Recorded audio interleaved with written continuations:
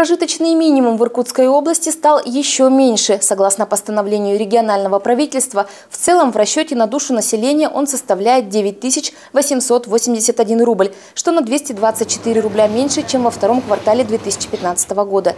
Сейчас прожиточный минимум для трудоспособного населения составляет 10 518 рублей в месяц, для пенсионеров – 7 963 рубля, для детей – 9 958 рублей. По словам специалистов, уменьшение величины прожиточного минимума традиционно происходит в конце года и связывают это все те же специалисты со снижением цен на продовольственные товары.